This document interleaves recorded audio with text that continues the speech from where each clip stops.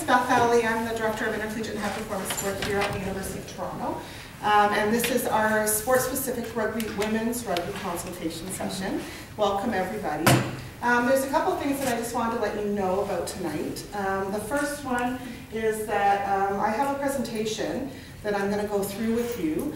I have changed it a little bit from the other presentations that I've done because I think it's fairly um, clear from the feedback that the women's rugby program does not wish to be part of the intramural program in the sport model, but rather in the intercollegiate program in the sport model.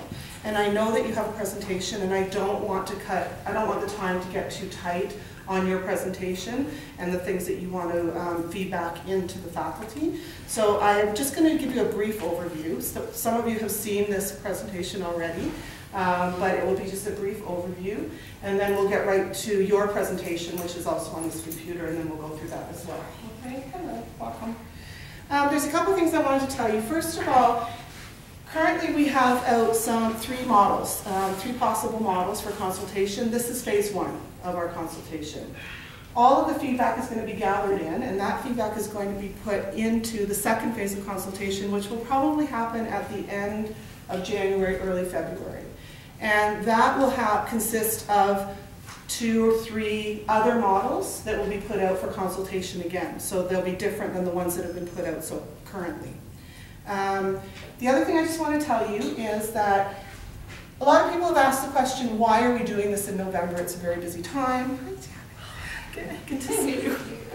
Um, uh, sorry, there's some um, alumni that haven't seen for a while, so I was um, why are we doing it in November in such a time when it's such a very, very difficult time? Everybody's busy doing all the things they need to do. We did this intentionally, and we did this because we wanted to do these consultations and get the feedback when people were actually on campus. So many times when you do a change in a model and you're looking for feedback, people do that over a summer, and it happens over the summer, and by the time everybody gets back on campus, everything's done, and you're just moving on. That was not our intent, nor was that what we wanted to do. Um, we're very interested in the feedback from all of our stakeholders, and uh, I just want to reiterate, and I have reiterated to many of you who have sent me submissions yourselves, um, this is a true consultation process, and this is truly about feedback. There is no back pocket model. There is nothing that's already confirmed and is ready to go. We are a long way off from recommending a model, and we have a long way to go before we get to that point in this whole process. Okay? So I'm just going to quickly run you through this presentation. It'll only take about five or 10 minutes, and then I'll answer any questions you may have based on this, and then I'm going to turn it over to you um, to do your presentation. Is that okay? Anybody have any questions about that? Um, we do have Sarah Hall. Hi, Sarah, again. Can you hear Sarah? Sarah. Yeah, I can hear. Okay. be catching a cup of coffee. um, we have Sarah Hall on the, um, on the phone, and Ed had asked if we could film the, um, the presentation today and your presentation because there are other alumni who weren't able to be here. So that's why we're filming. We haven't been filming all of the other ones. And just so you know, I also am recording this because we are taking notes on everything, and so this will be pulled into the feedback for future um, consultation and future work on the sport model. Okay? All right. So, so the intent of our consultation sessions um, are to, oh, sorry, this was our, these were our rules of engagement. So I'm not sure that we made the rules of engagement um, today with this group. Um, but just please make sure that everybody gets a chance to speak. Um, we'll identify who the speaker is, and then you can have one follow-up, but then the next person will get a chance to speak, and we'll come back to you for sure. But we want to make sure that whoever wants to speak has an opportunity to speak. Okay?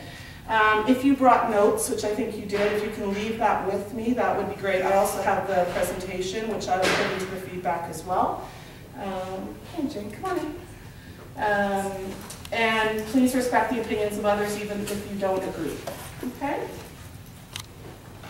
So the intent of the consultation is to provide opportunities for interested stakeholders to review all of the documents pertaining to the sport model review process, which is on the faculty website, and I'm sure that everybody has already reviewed those. It's also to provide opportunities for stakeholders to review the possible models for intercollegiate, club, and high-performance sport, To provide various means by which interested stakeholders can provide feedback to the faculty regarding these possible models, but also to provide feedback regarding alternate models for intercollegiate high performance and club sport. The ways to provide feedback are to come to a consultation session, which you guys have all done today. Also, on the faculty website, there's SurveyMonkey, and you can see all three of their models, and you can actually pick one and provide feedback on. Um, or you can submit a written response, which some people have done as well. Why the review?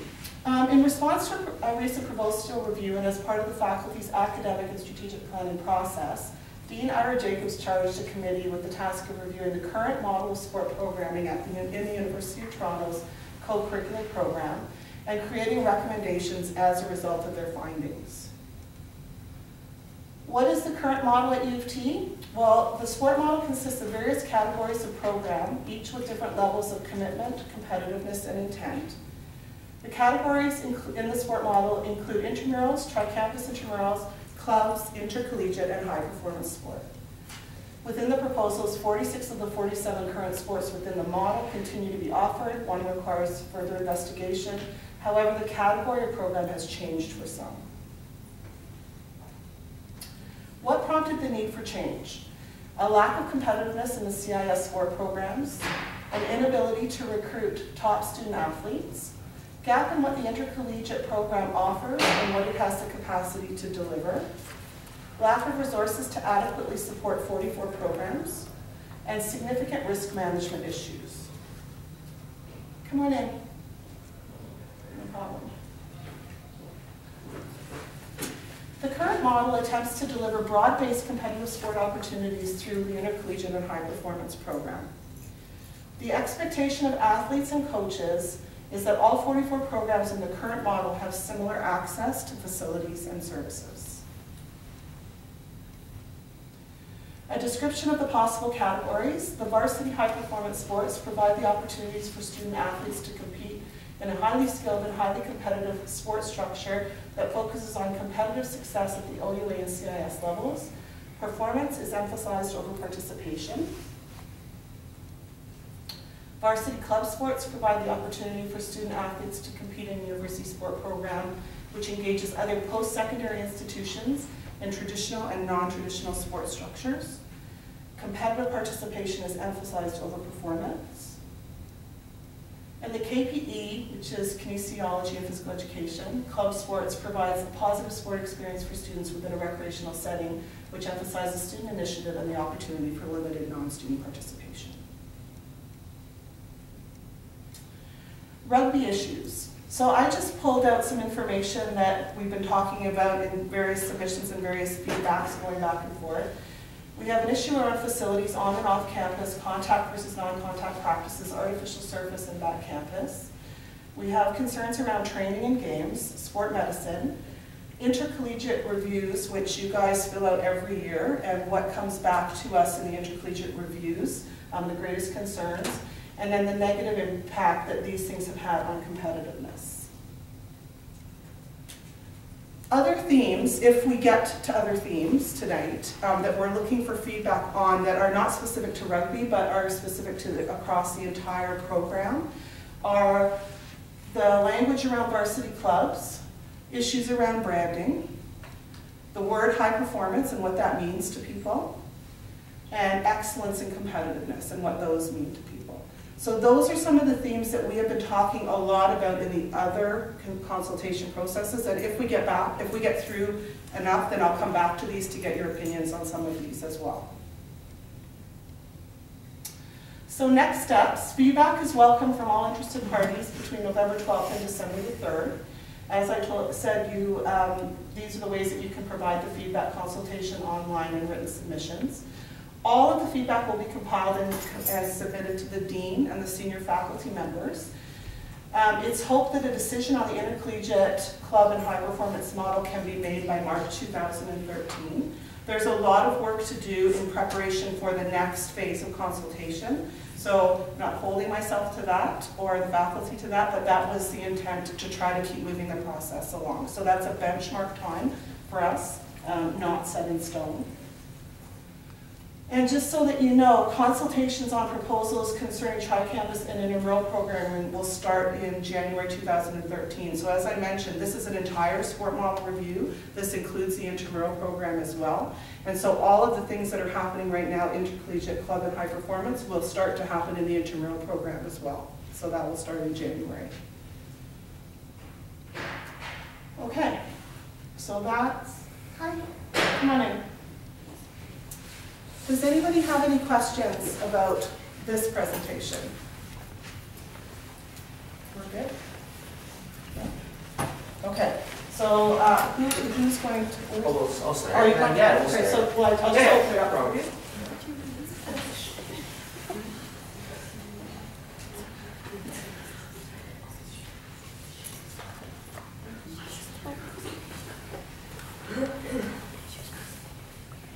Okay, so we just have to put the demo, okay?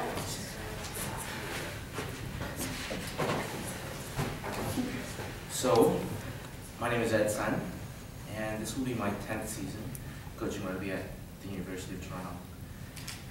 And my 10th season at the University of Toronto,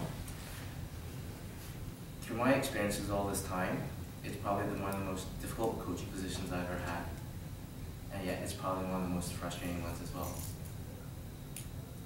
But it's 10 years on, and I'm still Because U of T has been the most single pivotal position that I've had in helping me to develop as a coach.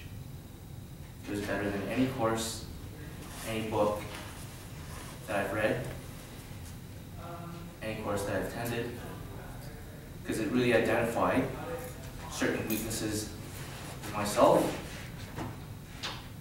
it also helped me to identify triggers with individuals and within teams to convert inexperience to performances.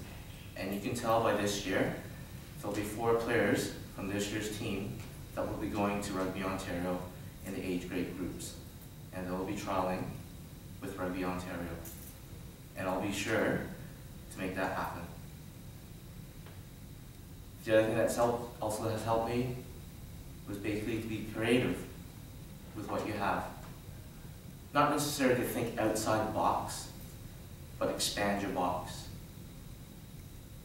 On November 2nd, I was summoned to Beth's office and was told that varsity women's rugby will be among the intramural ranks. We don't take this program for granted. What was the first thing that I said this year when we took to that field and played against Doyer in our home opener? Show varsity why we deserve to play here. You have to earn your right to be on this field. We know that. I knew that last year in the consultation with Beth with in, in December. We know that. And what we're here to do today is to present feedback and some solutions and possibly dispel some myths and misnomers about the women's varsity program. And at the end of the day, what we want to see is us to maintain our status in the CIS. So, there'll be four presenters. They'll address the criteria set out by Beth and the Sports Review Committee as to why women's rugby will become an intramural sports based on the sports models. The four presenters will be Bailey, there will be Amanda, Carla, and Danielle. And then I'll finish up with uh, an ending, and then we'll go into discussions after that. Okay? You can sit there. I'll go back.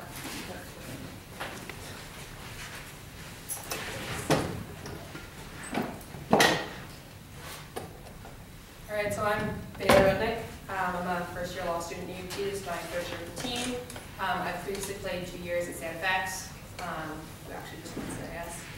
Um, and I'm going to be presenting on field space issues. So I'm just going to go first through a little bit of an introduction that kind of sets the, the tone that I think our team is trying to approach um, finding solutions. So we understand that like all teams at U of T have a shared interest in pride the success of U of T's athletic program. We also understand that flexibility and compromise are necessary in order for that success to be realized.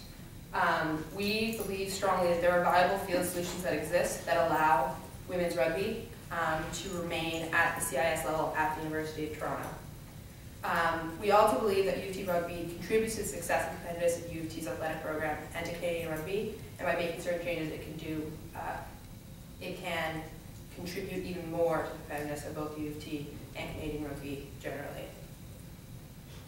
So first off, I'm just going to go through the field space required by a competitive rugby program, um, using numbers and examples from other competitive rugby programs uh, across the country. Then I'm going to go through the options that, I, that could help alleviate field issues and outline the positives that could come from the adoption of an alternative, alternative proposal. So this is a direct quote from the rationale document, and it's the appropriate time allocated is approximately 16 to 20 hours per week for the first team, and 8 to 10 hours per week for the second team, for the second for training alone. Um, and while practice time is obviously absolutely crucial uh, to a team being competitive, being successful, uh, we are fortunate enough that actually women's varsity rugby far less field time than 16 to 20, 16 to 20 hours is actually required to create a highly competitive team. So in terms of actual field time uh, for highly competitive programs, uh, the first example is St. FX um, out in Antigonish, Nova Scotia. Um, and then, like I said, they recently just won uh, the CIS national title. Um, so they do, they do not have a first and second team. They only have one team of approximately 36 members. at least that's how many were when I was there. Um, their training per week is two hours Monday, two hours Tuesday, two hours Wednesday, two hours Thursday, and then an hour and a half on Friday, or like an hour shortened practice the day before games, and then normally they tra travel on Saturday for games. So that's a total of 9.5 hours of training field time. So that's first NFX, who just won uh, CIS Nationals.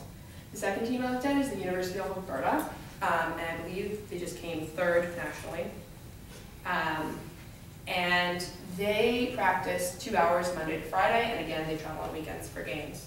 Um, so that would be a total of 10 hours in training time, um, field space required for these two very highly competitive programs. Um, and again, the University of Alberta does not have a first and seconds team. Uh, that is actually an unusual um, formulation uh, of a model for women's rugby or women's rugby program uh, within Canada. So that kind of goes over the number of hours needed to actually have a competitive program. Um, so uh, a highly competitive program. So some solutions to the field space issues. Um, we propose that women's rugby uh, move to be either based partially or fully at the University of Toronto Scarborough campus. Um, so the UTSC has two fully functional fields referred to as the Valley Fields. Um, and based on what we could find about the current intramural program at UTSC, only a small handful of teams actually use these valley fields. Um, so the pros to fully moving the program are that we have access to really excellent facilities, increased re recruitment, um, we have a home team advantage by practicing where we were playing. um, would require no use of the really crowded downtown facilities. Um, the equipment would be readily accessible and it would actually be a true tri-campus solution by moving one of the varsity teams out to Scarborough. So increased recruitment. Um, we think that basically operating at UTSC could open up a brand new opportunity to draw in new recruits. And one of the reasons why UTSC, uh, we think especially would be good for this is because it's less of a commuter campus than the downtown campus. And this means that the time commitment taken to be part of a varsity team would be decreased for people who went to UTSC and wanted to be part of the team. Um, in addition, there are a significant number of, of strong high school uh, women's rugby teams out in Scarborough, and a lot of people who are from Scarborough and went to those high schools generally go to the university there. It's very common, like high connection um, uh, school. Um, and we think through rec focused recruitment efforts on Scarborough and its high school club area teams, we could increase our recruitment, um, and this would make us a more competitive team moving forward. So in terms of excellent facilities, uh, the Valley rugby fields, I've already said, are rugby specific. Um, they are adequately maintained, uh, necessity for athlete performance and safety. Um, and especially since I know that one of the major issues in the rationale document was the risk management issue surrounding the back campus fields, which had um, been decreasing in quality, should I say. Um, I think we can attest You're to being too kind. the giant holes in them. Um, we feel like this would be a solution to those risk management issues and be a safe way to play rugby. Um, also, UTSC is undergoing a number of drastic modifications and upgrades to their athletic facilities. Um, and this is including a brand new field house, um, gymnasium, a multi-purpose program area, and a range of fitness and training rooms. Um, so they've actually just recently invested a whole bunch of money into making the facilities better, and we feel like we could really take advantage of that to increase our own competitiveness while taking pressure off the downtown core. So home field advantage, I've already run through this a bit, but basically that, I mean, we have not been practicing where we've been playing, and that is a disadvantage, uh, especially when you go away to other teams who do practice where they play. You get used to the dimension of the field, you get used to the, like, the bounces of the ball, um, you just get used to the area and feel more comfortable in it in terms of being able to play there. Uh, we also believe that the presence of a team practicing at UTSC, especially since they don't have any varsity teams currently practicing there, will help promote a strong fan base amongst fellow students and create more UT pride in, uh, in our school.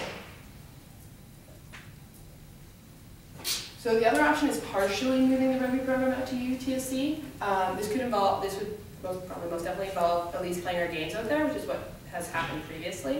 Um, I believe they did it for most of the years leading up to this year, uh, which would again take some of the pressure off the facilities downtown. Um, it could also involve moving maybe some of the practices out to UTSC.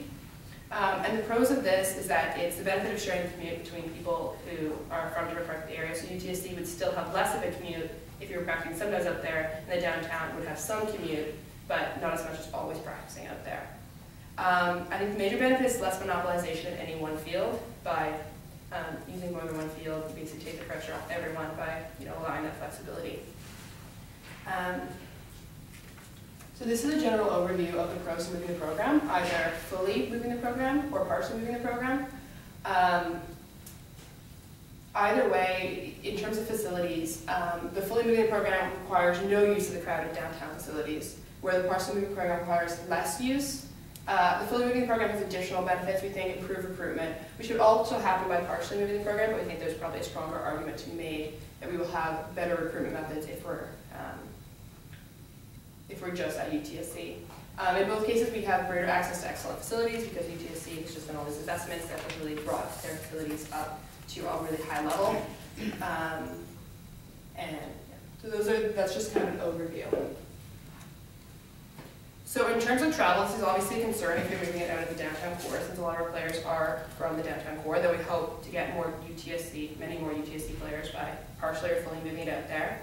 Luckily, Scarborough campus is actually easily accessible and affordable to players via public transportation. Um, and in the coming years, it's expected the transportation is going to get better and better going out to Scarborough as more and more people are making that commute. Um, in addition, athletes may also carpool as the distance is less than 250K um, as per the university risk management policy. So carpooling uh, together would also be an option which would be uh, fairly cheap if we all chipped in for gas and uh, you know, not particularly onerous in terms, less onerous in terms of time. So in terms of additional field time, while not ideal, our team would also be willing to offset University of Toronto field time with some private field time. Um, and it's financially viable for us to use uh, Lamport Stadium or another private facility. We've actually been in contact with Monarchs uh, Fields um, and are trying to figure out if that could work in 2013. Um, for off-season training, uh, our finances will actually be addressed later in this presentation by Danielle. This is just saying that it is financially viable for us to do this. It is also possible for in-season to run non-contact practices on field hockey turf. And I know it sounds strange because we're rugby players and we, it's a full contact sport. There actually are times where it's very appropriate for us to run non-contact practices. Such as the practices directly before a game um, are usually entirely non-contact because there's not enough time to recover. Um, as well as learning and practicing plays is, is usually done in an entirely non-contact manner um, because you have to get those emotions and understand those emotions before you can start putting contact in. So these are just kind of some of the final conclusions. Um, start with, less than 10 hours of field time for training is sufficient for a highly competitive uh, women's rugby team, as evidenced by Santa and the University of Alberta. Um, moving the rugby program either partially or entirely out to UTSC uh, would help to alleviate some of the field issues. Uh, there are a number of positives to the move that we think will help to increase our team's competitiveness and therefore fit better within the new model for U of T. Um, this is including upgraded facilities, improved recruitment, and home field advantage. So kind of as a final statement, um, clearly there are many solutions that enable the University of Toronto and its athletic department to keep CIS women's rugby, um, while we all work to strengthen the competitiveness of our many teams. So I'm now going to pass it off to Carla, who's going to speak uh, specifically to the competitiveness issue. Um, so come on up, Carla. Can we ask questions as we go along? Yeah, do you want to pause and ask questions now? Is that okay? Yeah, Just a couple of, okay with that. of points, because I think Unless that's, somebody else that's objects. excellent. Um, There's a couple of things that I just want to tell you. Um, We currently have baseball and tennis at UTSC. And fully, and baseball is fully training and competing, and it's been hugely successful. So um, you wouldn't, it wouldn't be the first, but it would be. For CIS. It, first CIS program. For CIS, there we go. Knew there was something. Yeah, no, first CIS program for sure, but it has been very successful, that what we've done with baseball there, so that's definitely, um, definitely a, a good idea. Um, the sixteen to twenty hours was men's and women's Oh, in the, in the original document. Oh, the two Yeah. programs. So, Oh, sorry, I didn't understand no, that. that's fine, I mean, exactly what you said, Yeah. we calculated ten hours Ah, per week, okay. two hours, five days a week, um, but multiplied it by two because it was for both programs, so that's cool. But I mean, we're on the same wavelength as to how many Okay. hours it takes for sure. Yeah, so I, yeah, there's some, some great things in there. Is there anything else anybody wants to add or bring up? Carla.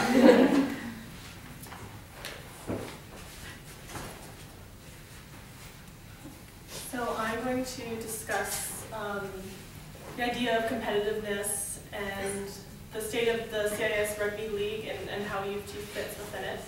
Uh, my name is Carla Teledetsky. This is my second year at U of T.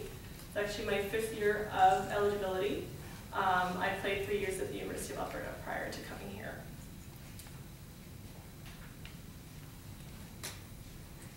So this slide summarizes basically the state of the CIS league. There's 28 teams in the CIS, and um, I summarize kind of by conference who the main conference title winners are every year. So um, in the Atlantic League, League. FX has won the title for the last 15 years.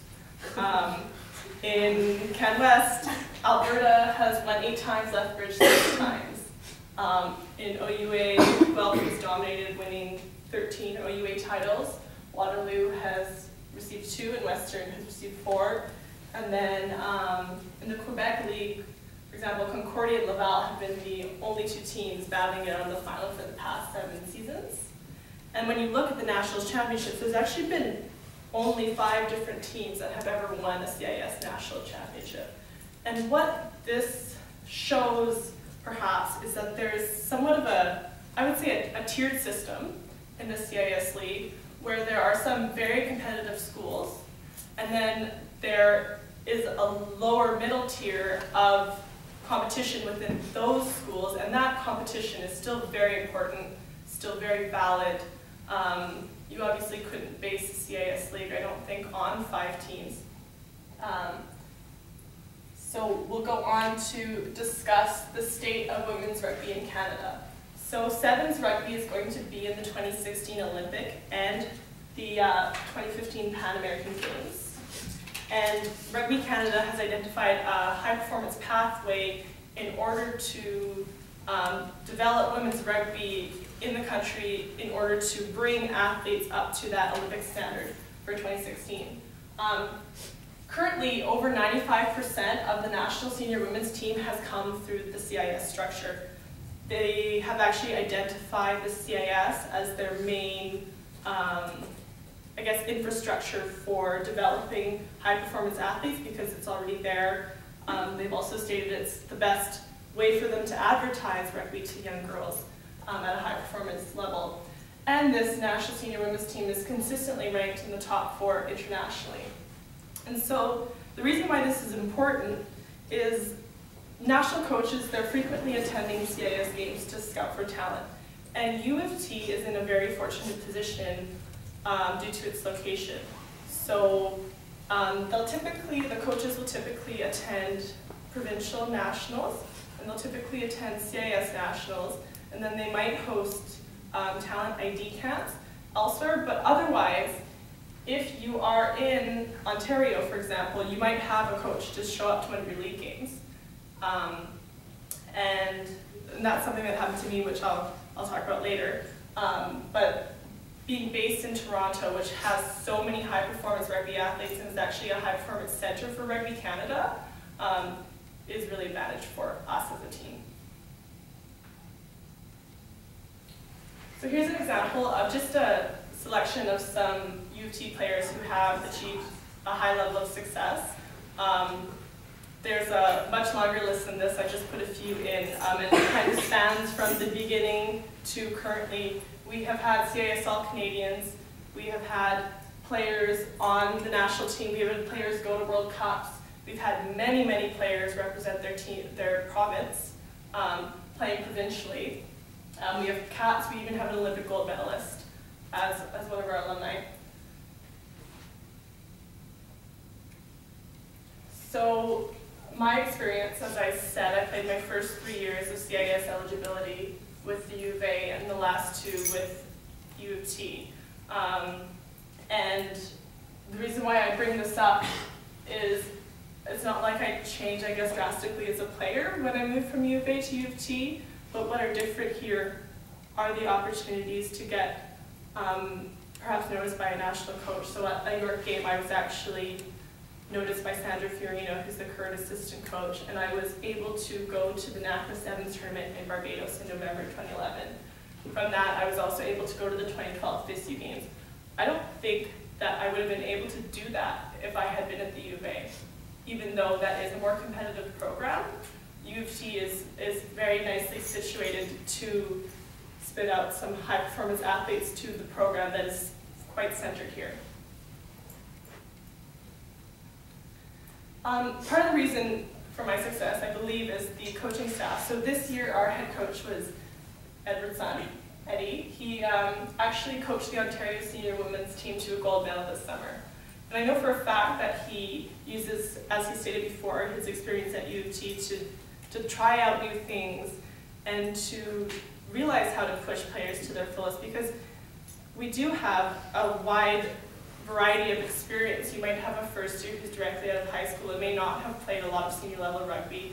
And then you might have the graduate student or the doctoral student who's been playing rugby for 10 years um, and, and he's really worked with that quite well. Um, he's also NCCP level 3 certified and he's entered the high performance pathway coaching development program. Um, we had two assistant coaches this year. Um, Lisa Newton, she's here tonight. Um, she has 40-20 caps and 14 senior caps for Wales. Um, she played University Rugby, she captained her team. Um, she's also played in the 2010 Rugby World Cup and three Six Nations tournaments.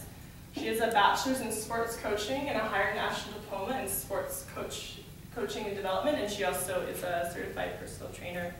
Um, and then our second assistant coach is Andy Ireland, who has extensive playing experience as a professional um, athlete playing for the London Wasps, and he also has even more coaching experience in England, where rugby is, I mean, absolutely huge, as well as in Canada. So, um, pivotal to the success of any team is obviously training. So we have currently been practicing three to four times a week um, in our model, we presented practicing five times a week. And currently, we've been having our coaches provide strength and conditioning programs for us to follow during the off season. We've also supplemented that with indoor training sessions in the field house to work on rugby skills. And then in addition to that, our summers are spent playing club rugby. So um, we would like to, to become a competitive program, ramp this up even further so we have even further um, emphasis on training and, and training support. I conclude with um, a few quotes that were sent to us from coaches in the OUA League. This one is from Waterloo, and they attest to what I mentioned earlier about the disparity between certain teams, and they say that U of T has been a very competitive game for us in each of the three years that we have coached in this league. In a league where the disparity among the top teams and the bottom cannot be disputed, having such a competitive game that challenges both sides is invaluable to us. And this is coming from a school that we beat last season and they were ranked eighth in the country at that time. Um, coaches at Sir Wilfrid Laurier University um, said that there are so many strong female rugby players in the Toronto area, and the loss of a program would have a huge impact on not only those players, but the OUA and CIS rugby programs as well. And then finally, from Trent University, um, the Varsity Blues women have hosted national championships, won a silver medal, produced all Canadians, academic all Canadians, and Olympic gold medalists. Moreover, they have provided a highly competitive challenge, which has fostered the values of commitment, dedication, and teamwork to 13 graduating classes of doctors, lawyers, teachers, coaches, and business leaders. Um, that concludes my presentation, and Amanda will be presenting next. If there's any comments or questions.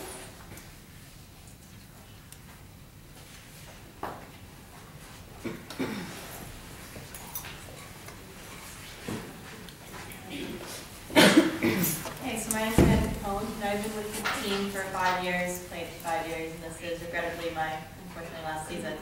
Um, so I'm going to be presenting the gender equity in sports.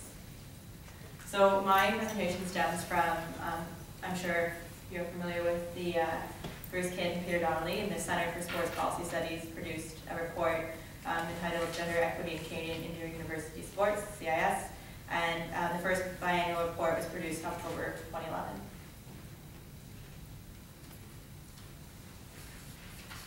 So outlining, it outlines the gender equity issues regarding CIS sports and address low numbers of competitive sports with female athletes at the CIS level. And a direct quote is, university athletics have a special responsibility to uphold gender equity standards. And there are almost as many varsity teams at the CIS level for women, which are 425 teams, as there are for men, which are 431. So by reducing the UT women's rugby program to intramural level at the university hinders the investigations of Bruce Kidd and Peter Donnelly and the CIS equity and equality policies in sections um, 80.834, 80.8310, 80.841, which I'll read up to. So 80.834 states that the CIS promote members' institutions to assume a leadership role in their local and regional communities to encourage young women to pursue sports as a career option. And by canceling the program, you set the precedence that rugby is not valued at a competitive level within arguably one of the largest universities across Canada. In doing that, you hinder our performance and opportunity to compete provincially or nationally and be scouted, as, as Carlin stated, and furthermore shy us away from obtaining and pursuing our desired sport as a career option for fear of being promoted or belittled at any moment. 80.8310 states that the CIS maintain a balance in the competitive opportunities available to both gender at the national level. And taking away the women's CIS level rugby program at U of T, you're again denying our 30 plus women at this university and all incoming recruits, which I believe we already have a few committed to, um, or want to be committed to for next year, the opportunity to play and compete at the CIS level of their chosen university. And in doing this, it aids in the um, deterioration and promoting gender equity, taking 30 girls out of the demographics for the report, such as this one, and enhances the gap between women involvement in high performance sports. In the second section, 80.841, um, it states that mindful, to be mindful of the principles that academics must always take precedence over athletics. And CIS is designed to encourage participation by as many males and females. Generally, there are more participation opportunities for males and females at the higher or elite competitive levels, and a lack of opportunity for women to become more actively engaged. And all institutions should have a policy that allocates resources in a given sport on a relatively equal basis between all male and female programs. So the female athletes on our team, both present and past, have maintained high GPAs, have been awarded and honored at the Academic Excellence Breakfast and ceremonies, and have gone on to pursue PhDs or master's degrees, all while committing to training hours that the intramurals fails to offer. CIS is dedicated to providing females the ability to compete at this level, and the CIS recognizes that there is a need to try to rejuvenate the varsity status and CIS status of female sports to ensure the equal target of a 50-50 for males and females is met. So in 2010, 2011, what uh, Bruce Kidd um, and Pierre Donnelly found is that out of the 7,815 team roster positions for females, only made 44% of the Canadian at-large totals, whereas males had 9,933. So there's arguably a 2,000 participant gap in between female and male competitiveness in CIS. So taking away CIS from at U of T, the university further breaks away from the desired results of both U of T sports policy and gender equity and CIS um, performance.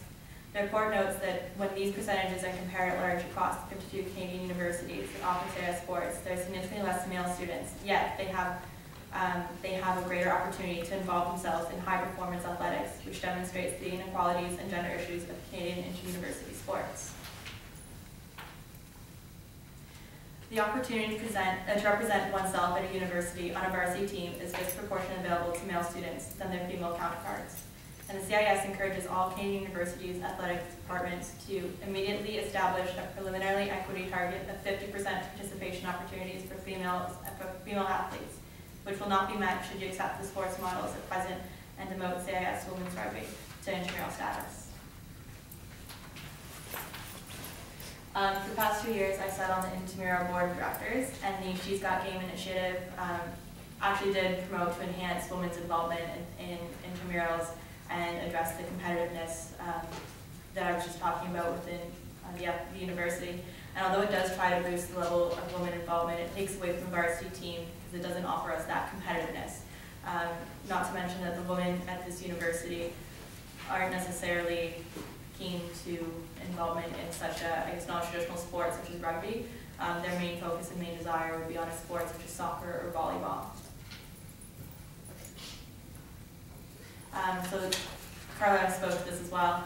Um, looking at the Canadian National Seniors Women's Team for rugby, nearly every single member of that team has come from a CIS level university, whereas looking at the other sports, um, such as hockey, soccer, and basketball, the three teams that have represented Canada in the Olympics, they are primarily consisted of NCAA players. So again, taking away a competitive program at the U of T further hinders the um, NSWC's farm teams, I guess. And that is And then it's Danielle with um, finances. And I will leave this for you here if you'd like.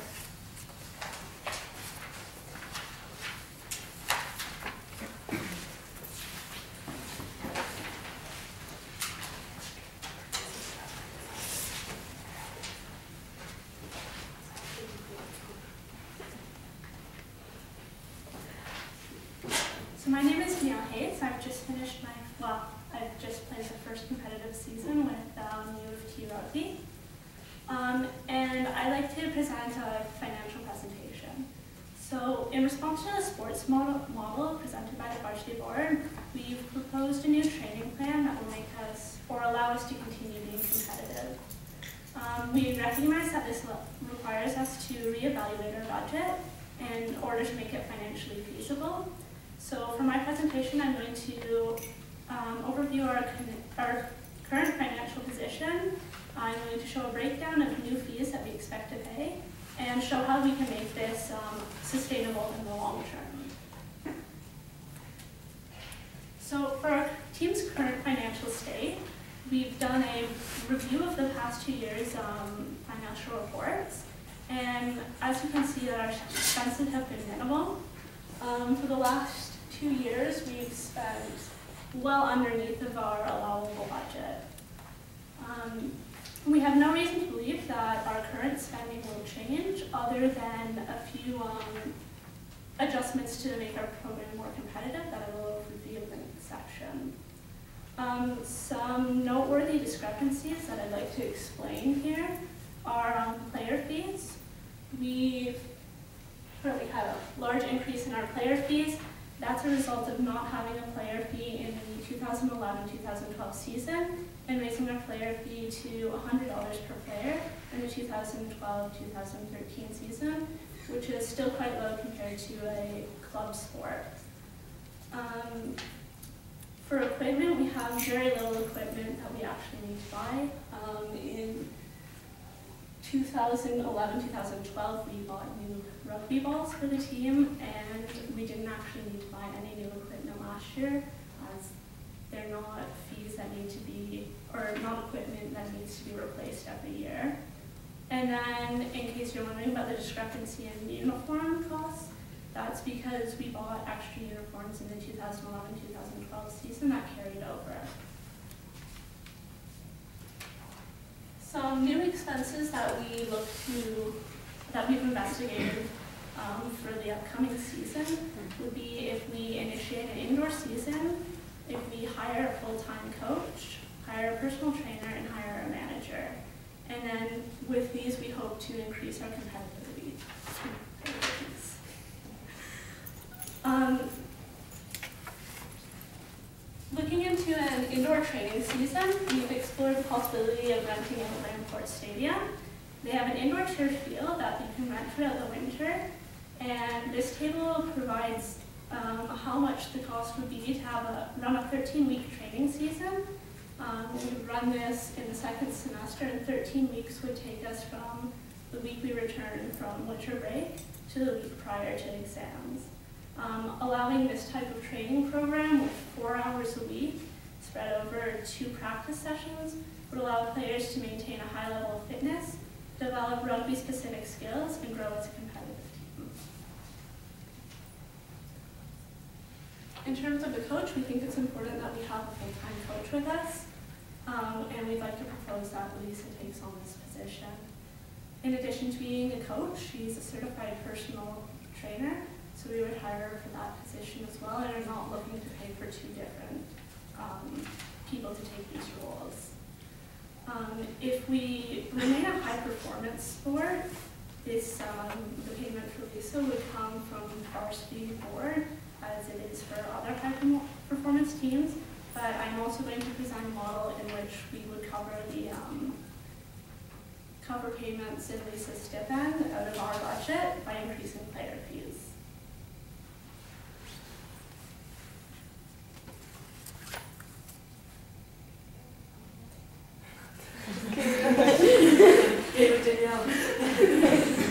um, to make this a sustainable program, we think that's really important. Obviously, it's not good enough to propose what we can do simply next year. We want rugby to last long term at U of T.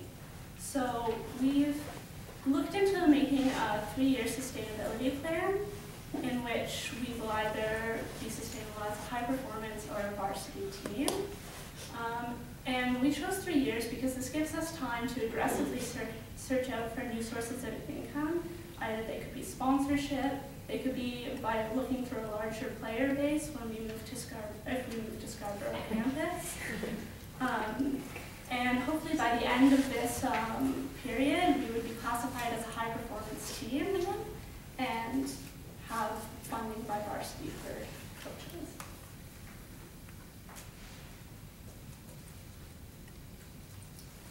So as I said, we could either look at this in the high performance case or in the varsity club case.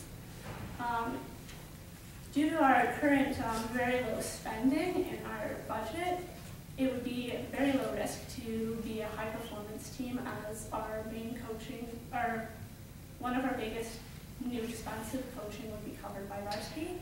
Um, however, we've made a breakdown, which I will show you in the following slide, to show that we could pay for all of our um, all of our new expenses by increasing the player three, fee to $300 per person if we had a player base of 35 players.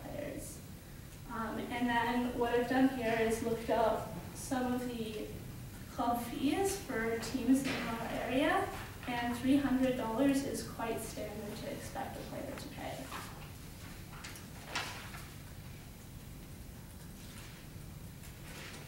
So for our three-year budget, to show that it is possible, um, I've made the assumption that we will be keeping the same amount of money from sponsorships, working events, and I've allowed player fees to change, in addition to adding in the expenses of Lamport Stadium, coaching stipend, and having payment for a manager who we would hire throughout the season.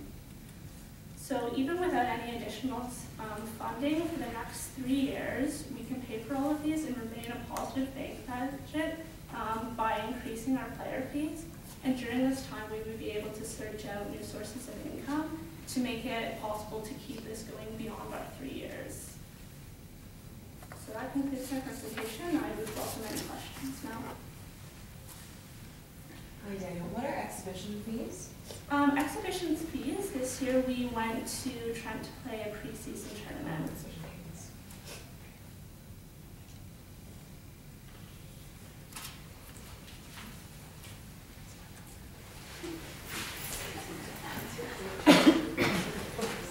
So that's, so that's pretty much what we've got. And so at the end of the day, we really wanted to try to address what Beth has set out in the criteria uh, on November 2nd. And I think that date is really galvanized what uh, varsity women's rugby really means to the University of Toronto. And so when you look at the criteria, the, the biggest question for us is, will Scarborough campus take us? Like, that's the big question. Why should they take us? Right? But when you look at the competitive side, we have players going to represent Canada from the University of Toronto. There's a long history of that. Obviously, we have some lean years. I mean, every team has lean years. But I, I get it. I mean, you can't have five lean years. That's like a whole graduating class.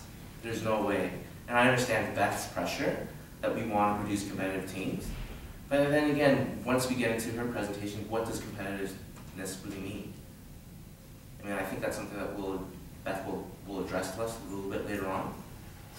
But when you look at the, when you look at the coaching staff and you compare that coaching staff throughout the country, it is just as good, if not better, than what they offer at UBC, U of A, St. FX, Guelph. The standard's there, the, the, the leadership structure is there, the player structure is following. This is something that's workable. But the main issue is, if you really need to drive this program into a higher level, you need a full-time coach. You need to drive this. And the perfect candidate would be Lisa, as I would step down but still help. But she is definitely something that the girls, the players will look up to, not because she is um, she is a player in her own right, but she is an international player. She's got international experience, her coaching background,